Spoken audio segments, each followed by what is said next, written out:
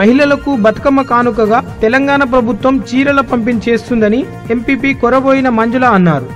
మండల పరిధిలోని రంగంపేట గ్రామంలో గ్రామ సర్పంచ్ బండి సుజాత జెడ్పీటీసీ ముత్తంగారి మేఘమాలతో కలిసి బతుకమ్మ చీరల పంపిణీ చేశారు. ఈ సందర్భంగా తడి పొడి చెత్త బుట్టలను పంపిణీ చేశారు.